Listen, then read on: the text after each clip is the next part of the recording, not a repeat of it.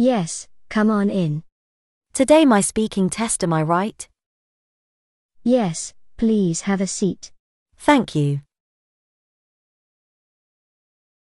Now, I'd like to ask you some more questions about yourself, okay?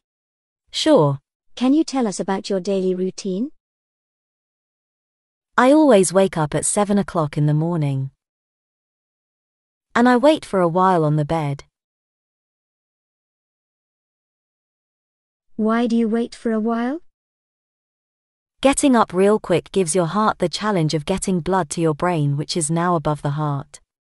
When you're laying down, the heart doesn't need to work as hard because everything is level. You probably have slightly low blood pressure as well. Then I wash my face and brush my teeth. After that, I do physical exercise in the nature. I have a wash and I get dressed straight away.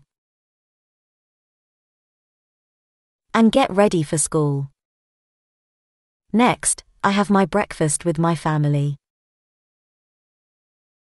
I leave the house at 8.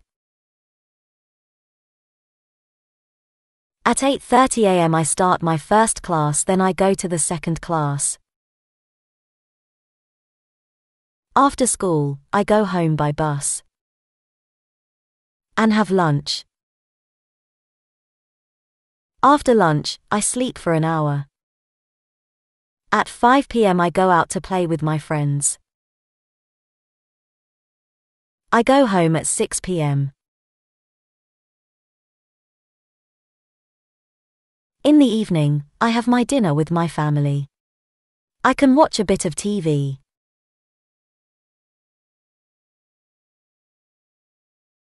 Then I do my homework. I go to bed at about 11.